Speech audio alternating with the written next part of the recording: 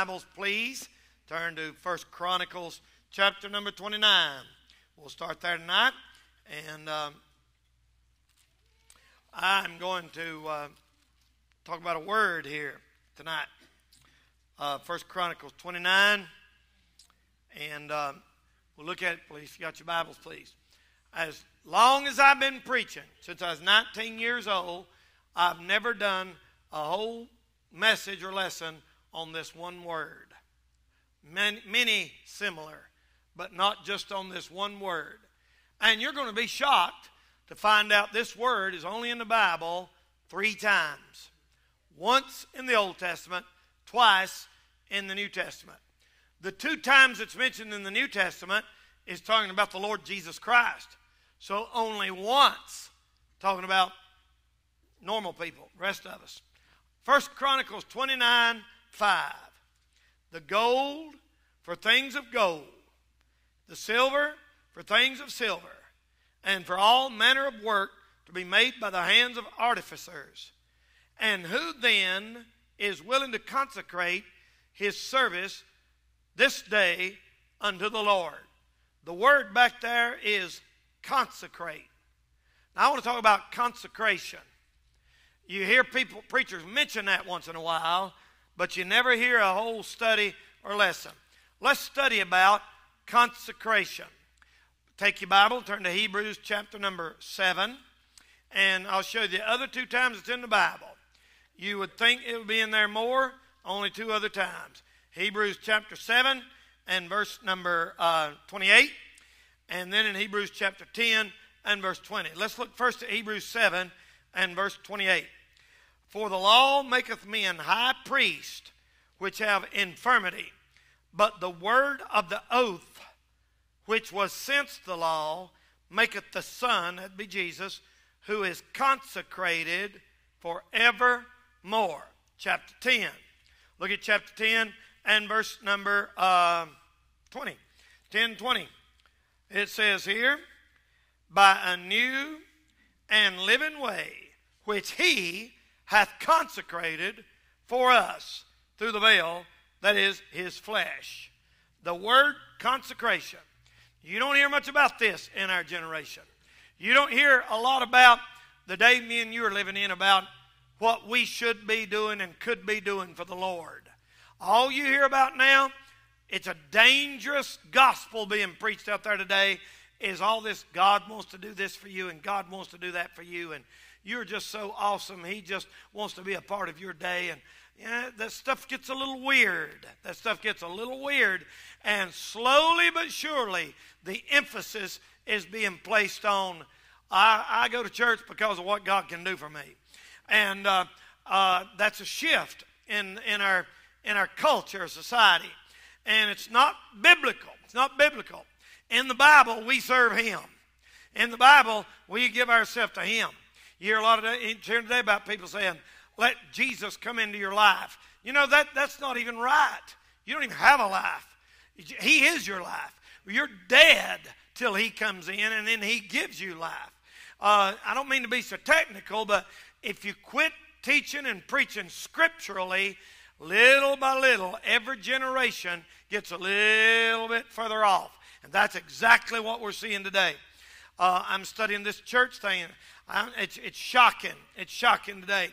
And basically, what we got today is a bunch of people making a living off a book they don't even believe. And, and tonight, I, I want to talk about our consecration. The word consecration, consecrate means to devote, to separate, dedicate, or set apart for the glory of God. It's, it's almost the same as sanctification. You've heard me preach on that.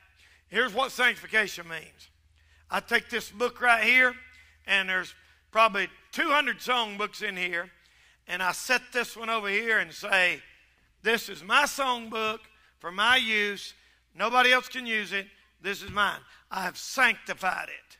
I set it apart for my use. That's what God does for in our life. Now, consecration is the same thing. Consecration means I've set this songbook over here, and it's for nobody else's use. It's for none other use but singing in the Lord's house with the Lord's people in the Lord's song. Totally dedicated to Him. We got this idea today that uh, uh, somebody somebody preached that parable where the Lord said some 30 fold, some 60 fold, some 100 fold, and somehow or another we've left people the impression that uh, there's there's three or four different kinds of Christians, and you just pick whatever one you want to be. If you want to be one of them 30 percenters, that's fine. Uh, if you want to be one of them 60%, that's fine. The Lord's okay with that. And uh, it's okay. Uh, and, uh, uh, you know, you don't have to go all the way if you don't want to. I mean, He's happy uh, with you if you go 10 or 20. And, and that, that's not right. That's not right. You know what the Lord wants? He wants total surrender. The Lord wants 100%. Uh, and I'm going to talk about that tonight. And, and, and I know you're probably sitting there saying, now, Brother Danny, he's going to talk about everything. It's fun, and we have to quit this and quit that. No, you, you're looking at it wrong. You're looking at it completely wrong. You, God wants to bless you so much, it's unbelievable. And you're hanging on to stuff to keep him from doing it. You're not, he won't to cheat you. The Lord's not going to cheat you. Uh, people hear preachers preaching, they think, good night, mean old God wants to take everything away from us. It's fun. If we get right, we're miserable. No, no, the opposite is true. It's just like your kids. The only thing you want to take away from your kids is what? Stuff that'll hurt them, right? That's all you want to take away from your kids. You don't want to take away from your kids stuff that's beneficial, stuff that's healthy, stuff that's profitable for them, only what will hurt them. So it, here's what consecration is it is giving up ourselves to the Lord Jesus Christ. No holding back, no reserve, 100%. It's not really giving of time. I know people, I know people that you preach hard on being dedicated, and they'll say, Look, uh, I'll give the church $100 Sunday extra. I just want to be a blessing to everybody. That's good. But that ain't what God wants. He don't want your money. He don't want your, he don't want, you say, well, I'll, I'll come out here and mow the grass. That's good. God don't want your time and money. He wants you. If he's got you, eh, there's people give him money just to get him off their back. You know, like you do your wife sometime. Uh, you know, she's, she's honey, oh, here's a hundred bucks. Go shopping. I'm tired of hearing it. And, and you know, if you'll admit it, you've done that before just to get her to go on. Or, or maybe you've done your husband like that. That's not really giving, that's not really what she wants. Well, maybe it is. she might not have a $100. I don't know. Depends on how long you've been married. Uh, uh, but uh, uh she, uh, the, the, the Lord don't want to say, here's a $100, leave me alone. He wants it all. He wants it all. Now, let's talk about that. The decision is who is boss. Who's boss in your life?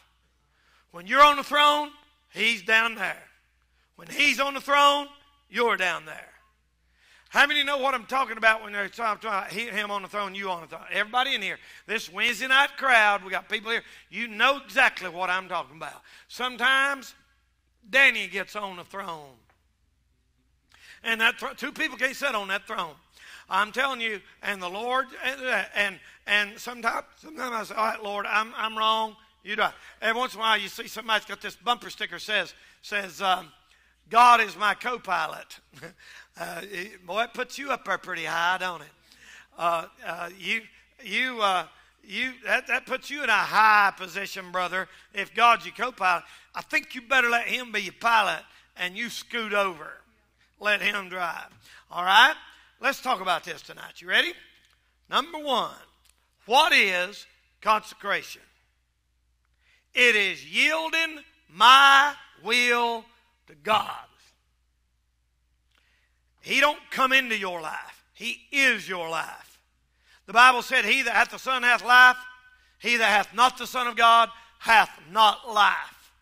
You don't have a life. You know, it ain't like you got this good thing going and Jesus comes along and joins you on your journey. That's the way they talk now. Uh-uh. Without Him, you have no life.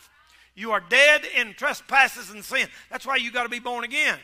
You're dead spiritually. So you have no life but in Christ.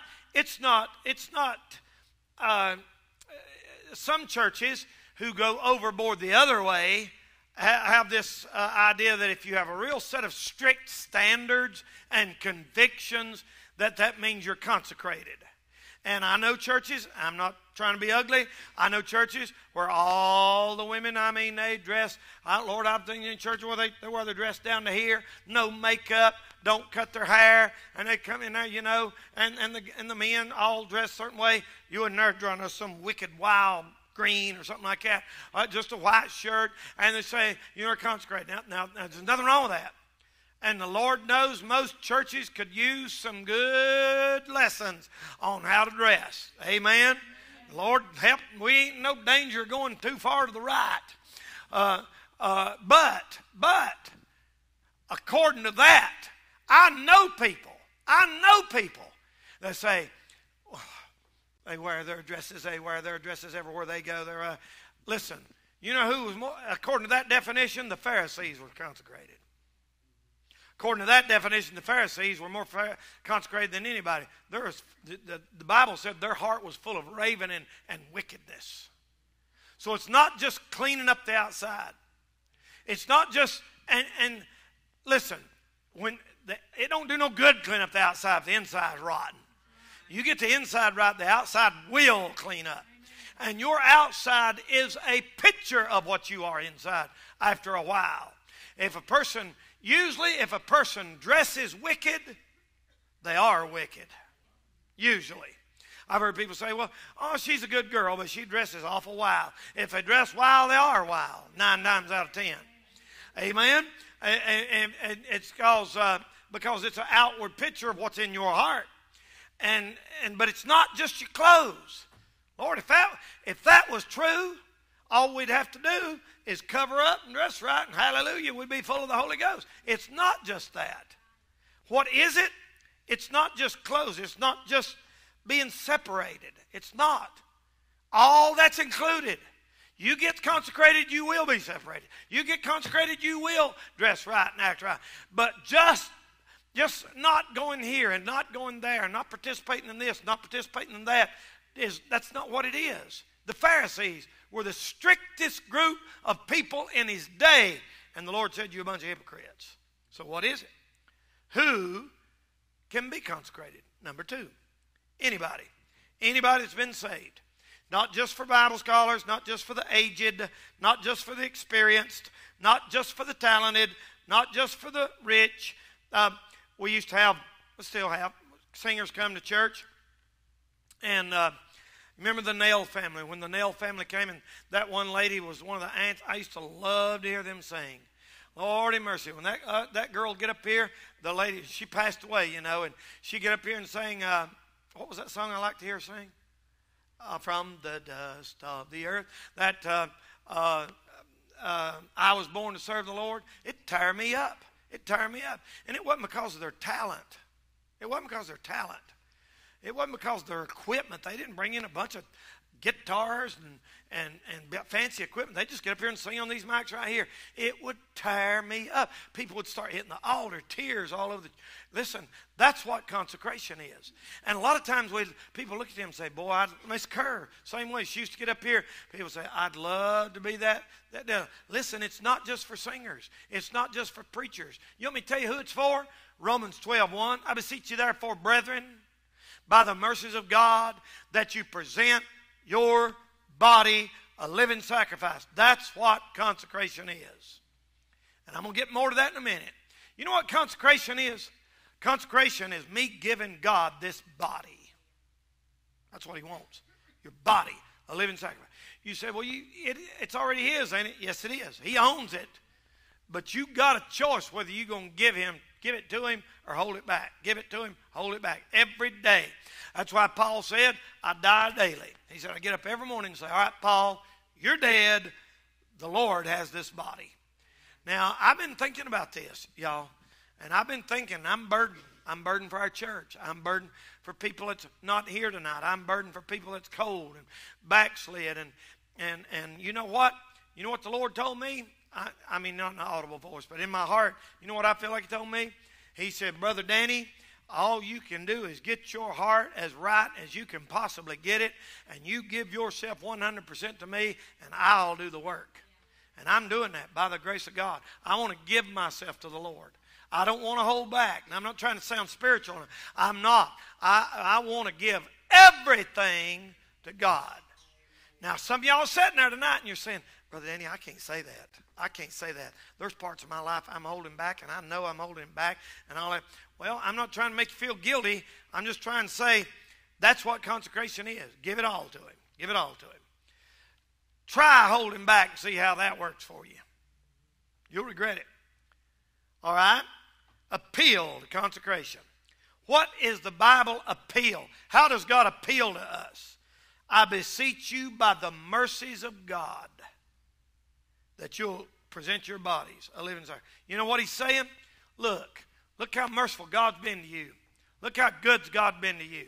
Look at the times you could have got killed. Look at the times you could have got hurt. You could be in the hospital tonight. You could be you could be gasping for breath in the emergency room tonight. You could be in the back of an ambulance tonight on your way to the hospital. Is it too much to ask God to give yourself to him? After he's been merciful to you? Listen, people, there's people in other countries dying with AIDS and going to burn in hell after that. We ain't no better than they are. No better. Maybe worse. I'm telling you, God's been merciful to us. He has been merciful to us. Consecration is, brother, it is, it is uh, uh, it, it's an appeal to us. All right, now let's talk about the act, the act of consecration. How do you do it? Present your bodies. Present your bodies. Let's do it tonight, like a gift, like a present. He owns it anyway. Go ahead and give it to him. It is an act of worship. God wants you. How many, how many times you heard preachers say this? God don't want your ability, He wants your availability. God don't want your talent, He wants your. You say, well, I'll come up and play the piano once in a while. Uh, Miss Desi goes, plays the piano, does a great job. We appreciate that. But that ain't the only reason she comes to church. I hope she'd come to church even if she didn't play, and I believe she would. I believe if her all her fingers got broke, she'd still come to church. I, I hope that if I can't preach, I still want to go to church. It's you don't.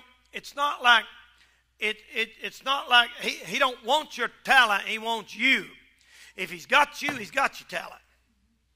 People say, "Give God your wallet." Now I tell you, you give him your body, he'll have your wallet. He'll have him tithes and an offering. He'll have a special gift from you once in a while. He sure will. He wants your availability. Like Abraham. You know what Abraham did when he went up there to offer up his son? I mean, he was willing to give God everything. That's what, that's what consecration is. Now, the argument for it. The Bible said it's your reasonable service.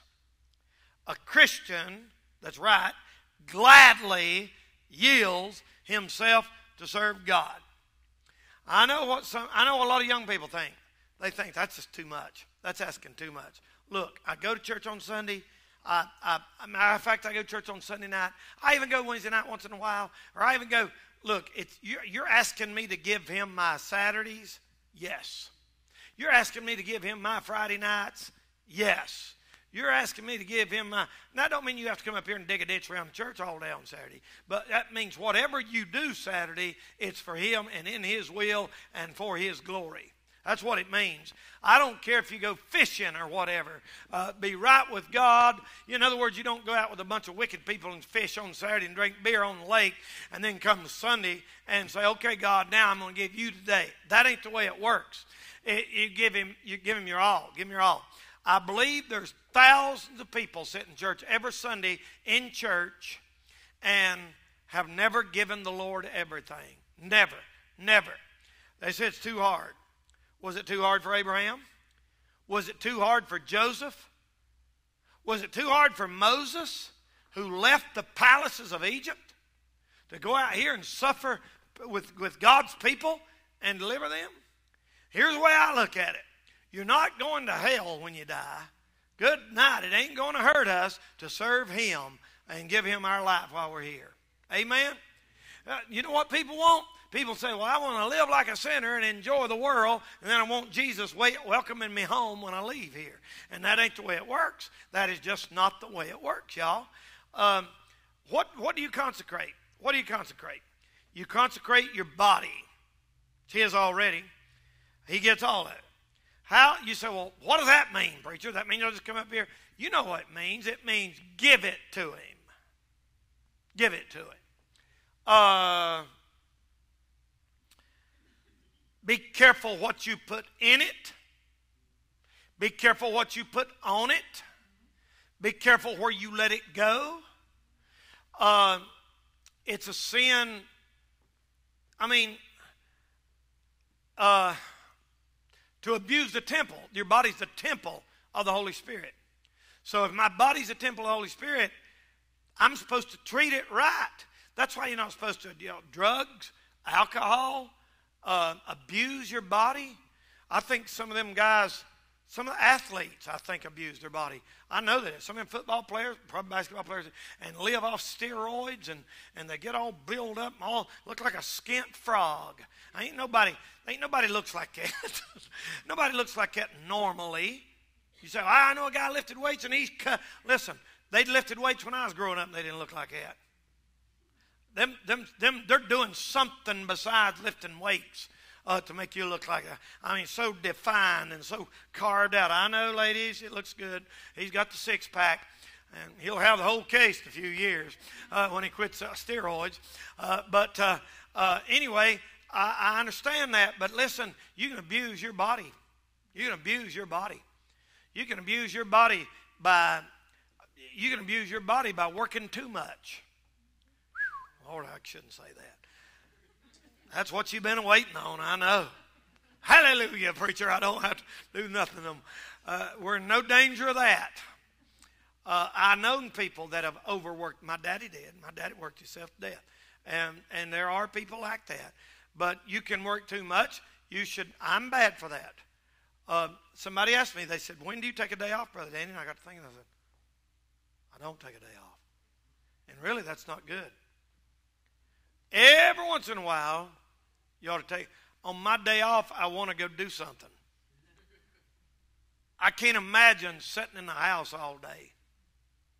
Now, the day may come when I have to. Lord have mercy. I can't imagine that. I can't imagine staying in the bed till 11, 12, 1. I, I can't imagine that. I can't imagine.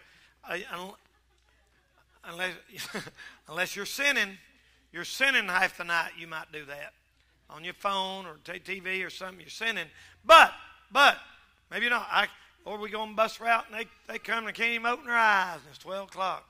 Come the door like this. I said, man, it's too. It'd be a sin staying day. Sun shining and, and everything. So it's wrong. It's wrong to pet it, but it's wrong to abuse it. Um, here's here I go. I'm gonna say it. I'm under conviction you be careful what you put in it, how you eat. Now, here's my excuse. I ain't convinced that all this stuff they say is bad for you is really bad for you. I ain't convinced. Show me different. There are some stuff that really is bad, like like pork and ribs. I ain't convinced that's bad for you. Huh? Pepsi. We'll get to that in a minute. Always some smart aleck in the crowd trying to uh, make the preacher feel guilty so they can live like the devil. Huh? Yeah. What about that Rule King popcorn in there every day? Uh huh. Popcorn is worse for you than pork barbecued ribs.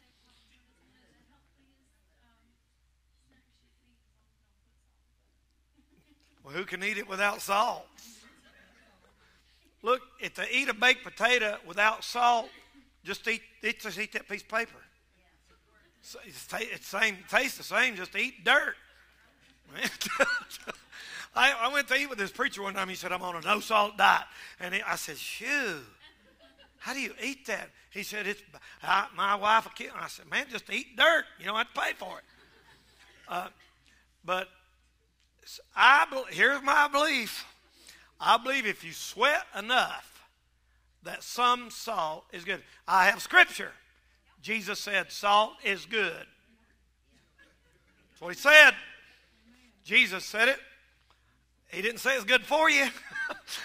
he said it's good, and I say amen. No, and I mean this seriously. Somebody correct me if I'm wrong.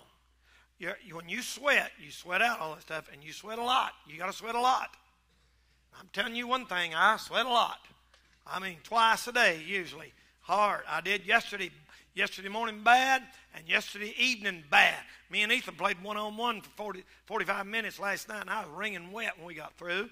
Anthony comes over, and we play 21 uh, before it gets dark, and uh, and then I played I played basketball this morning for about an hour and sweat hard. That justifies me eating Fritos and chips. And see, glucose, when you drink Gatorade, the glucose stuff, all that is, Pepsi and Gatorade, same thing if you sweat enough.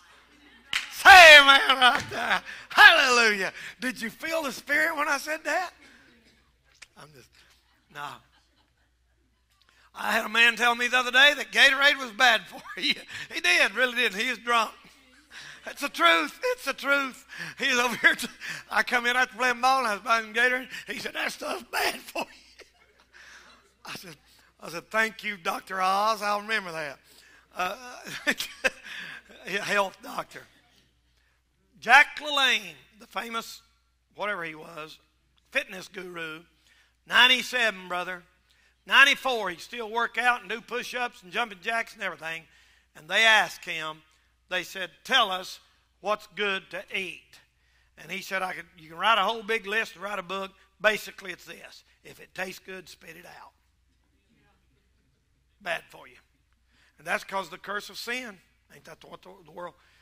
And I, and I had ice cream last night. I did. But I don't think a little. I think all things in moderation. Seriously, I don't think sugar's bad for you. You might disagree with me as long as you don't eat it all the time. And that's my opinion. And I believe this everybody's body's different. I believe some things that might hurt one person don't hurt another. This is not a lesson on food. This is a lesson on consecrating your body. But I'll tell you one thing beer and cigarettes and, and carbohydrates and sugar and sugar is more and just piling in and, and salt is not good for it. I can tell you that. In moderation, maybe some things I think in moderation, sugar or salt. My opinion. This doctor is 90 years old, lived off fat back and country ham, biscuits, and gravy. Still goes out and works in the garden. I don't know. Uh, it, we're not going to study about that tonight, but we will. So somebody want to ask a question or make a comment? The Bible says sugar is good. no, it don't. It says honey. I think if is you can take cereal and put honey on it. I do that. That's all right, ain't it? Honey ain't good for you. Come on now. How you know you're allergic to it?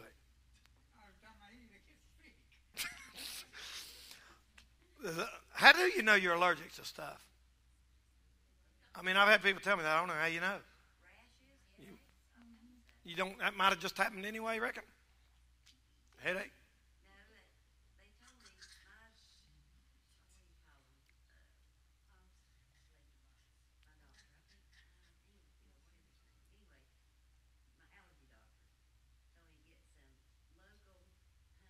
Uh-huh.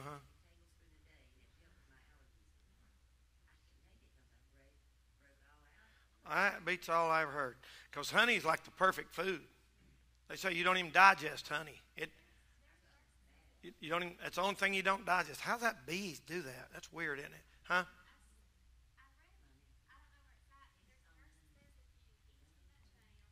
There you go. That's a good verse right there. Yeah, you eat too much anything. Mom, my mom was always saying, "Boy, this is gonna make me fat. I'm gonna, I'm eating this." And, Daddy say, "Too much anything will make you fat." That's what he always said. You know, you keep, uh, you eat, you eat uh, eat just a, just a lettuce.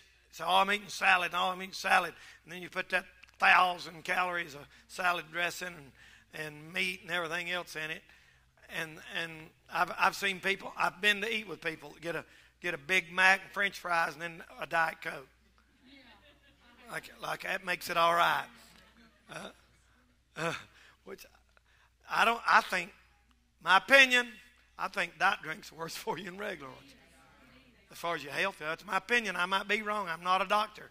Don't nobody take what I'm saying as medical advice, but that's because that stuff that, that stuff tastes. There's something in them things that taste weird. I don't know what it is. It tastes. I can taste it. I can taste it an hour after I drink. I just drink water before I drink diet drink.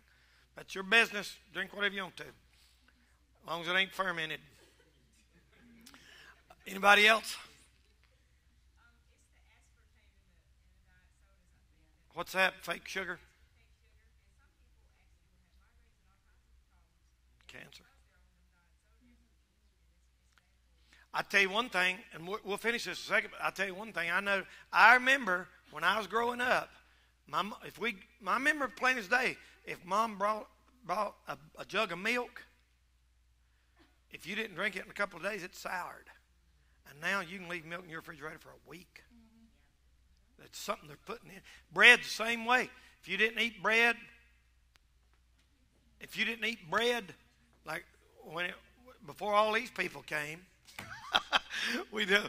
Anthony, Ethan, Molly, uh, uh, and all them, Opie, and all them. We keep a loaf of bread for a while. Now, a loaf of bread will last a week. They're putting something in them, those preservatives. That's what they say. I don't know that. I wouldn't doubt it. Well, somebody help me with this. I eat. I don't think it'll hurt you. I uh, I buy apples. I eat an apple every day. Almost almost every day I eat an apple, and almost every day banana. But at least five days a week, and usually six, I eat an apple. Usually, missed once in a while. Apple a day keeps the doctor away. Doritos a day keeps everybody away. Uh, and and you know what? everybody says, oh, get them organic. I get mine at the flea market from this Mexican lady, and she's really nice, and I witness to her every, every time I go. And uh, uh, everybody says them organic ones. And then I heard somebody say that organic stuff really ain't no better than other stuff. I just don't spray it as much or something. I don't know. I don't know. Y'all pray about it. Anybody else want to say something right quick before we move on? Let's finish this. This is not a sermon on food. About your body, though, you should be careful Overeating is a sin. I know that for a fact. Bible calls it what? Gluttony. I've heard them preachers, preachers get up and blast everybody for drinking beer, and their belly will reach that pulpit from right here. And and uh, uh, most of them, most of them. And I made up my mind, Lord, don't let me get like that. I don't want it. Or maybe my God is my belly. I count meetings and eat four times a day. Four times a day, brother. And and and I've heard them laugh about fasting and and uh, uh, make fun of people fasting and and and joke about uh, that ain't that ain't right. That ain't right. Eating too much is bad for you. You know what I heard one say one time? What's the definition of glutton? When you throw up. If you eat so much you throw up, you've glutted. What's is that? Somebody tell me the real definition of glutton. How you know when you overate? You're hurting. You have to do like this. Uh, uh, so like about an hour. I know it. I know it. I know when I overeat. Every time I go to the Golden Corral. Every time. And I tell myself, I'm not going to do it this time. one plate, and then I go back and get two plates, and then I get desserts, and two or three, you know, pies. And, and in my mind, I'm saying, I'm $13, bless God. I'm going to get my $13. And I just get meat, meat, meat, meat. And I'm a meatitarian. And uh, nope. And I believe it's sin to eat vegetables when you pay that much. But anyway, uh, uh, I and then I wind up hurting the rest of the day. Anybody else, right quick?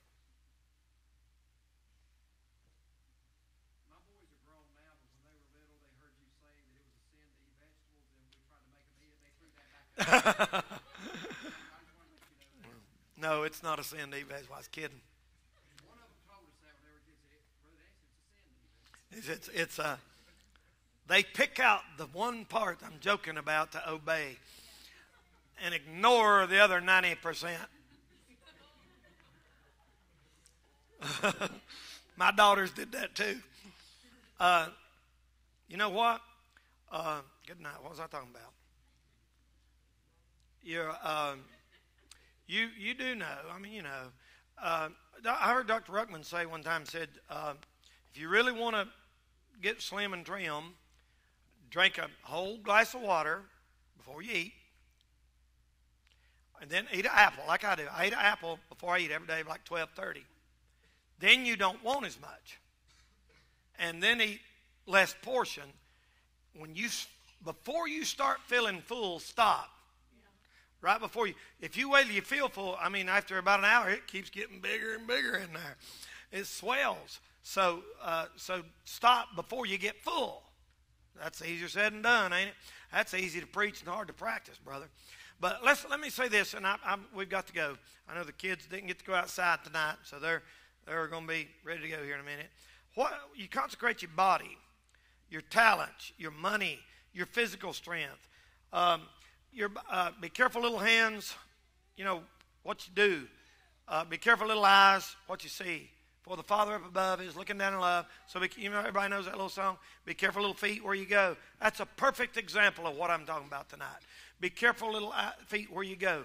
Don't go into a, a movie theater where, where there's a, a dirty movie. And they ain't no clean ones, one out of a hundred maybe. Don't go into a, a place where there's uh, my opinion, you, you, if you do this, it's your business. And I'm not saying you're sinning. I don't like to go even to a restaurant where I feel like I'm in a bar. I don't. I, everybody around you, I have drunk. You, know, You say, "Well, I like them wings." Well, get them to go, man. Uh, get. I, am not trying to tell you where to go eat or not, because I, I mean, I go there. You go to a places, a big city, everybody sells alcohol. But if, at least there should be a room over here. You know, you don't have to sit at the bar thank God, or, or near it. Uh, consecrate yourself. Uh, your abilities, your ability to speak, teach, minister, play an instrument, uh, nurse people, electrician, uh, plumber, carpenter, uh, whatever you can do. Whatever you can do. I'm going I'm to sum this up by saying this. Here's the, here's the whole lesson in one nutshell. Amen, Frankie? Tell it, brother. Uh, Here's the whole lesson in a nutshell. If I had 100 acres of land, if I had 100 acres of land, and a man come and said, I want to buy your land. And I said, okay, I'll sell it to you. And we agreed on a price. And I said, I want to keep one acre. Oh, he said, I get 99. My one acre is right in the middle of it. And the law in most states say that if I sell a man 100 acres of land, 90 acres of land, it's all around mine, he has to let me have a right of way to it. Right? And that's the way it is in most most you can't just be locked in where you can't get to your own land. There's got to be there's a right of way to it. And that is exactly what I'm talking about tonight. We say, I give the Lord my heart, but we got that one little place that we got access to. And we say, I give him everything but that. My goodness, most people's out partying don't even go to church. I give him everything but that. That's what I'm talking about tonight. That that. It music? Is it a habit? Is it somebody you, you're around you shouldn't be around? Is it lust? Is it pride? You think you're it? Is it money? Is it yourself? Well, I was talking about exercise a minute ago. There's nothing wrong with exercise. Bodily exercise profits little, but some people go crazy with it. They worship their body and they all the put pictures of themselves and all the you know all over. Lord have mercy. Uh, you got that one little spot uh, spot of land that you won't give to him. That's what he wants. I asked myself that question in my closet this evening. I said, Lord, is there anything in my life that you want? And immediately, I thought, like, like us playing ball and stuff, sometimes I think, man, I, I like basketball too much. I like it. I'd rather play a game of basketball than eat a steak. I mean that. Any, I enjoy it. I just enjoy it. it. It's good for the mind, body, and everything. But I thought, Lord, if you want me to cut, cut, cut back, I think, I think a certain amount of exercise is good for you, but you should be careful. No, you don't need to go to the gym five days a week and six days a week and just go crazy and and believe me, I'm not, I'm not doing it for muscles. Nobody, nobody goes, I got them. But, but they're, but they're, you know, I'm, that's not why I do it. I, I do it because I enjoy it. But some people do it just so they can look good. And I just wonder about that. And then I wonder about the way I eat and the way I spend my time. And do I pray enough? And the Lord's dealing with me. He's dealing with me. And I'm going to ask you, is he dealing with you? I'll read this and I'm through. Come on, Miss Desi. Would I be called a Christian if everybody knew my secret thoughts and feelings and everything I do? Or could they see the likeness of Christ in me each day? Or could they hear him speaking in everything I say? Would I be called a Christian if everybody know that I am found in places where Jesus would not go? Or could they hear his echo in every song I sing, in eating, drinking, dressing? Can they see Christ my King?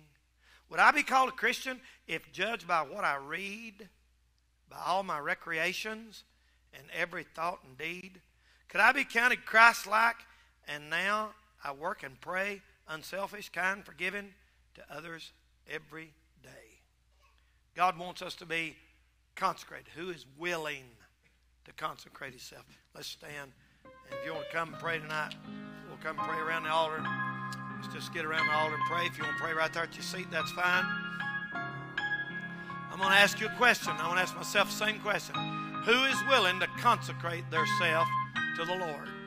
Come on. If you want to come and pray at the altar, come on. If you want to pray there at your seat, that's fine. Uh, just come on right now.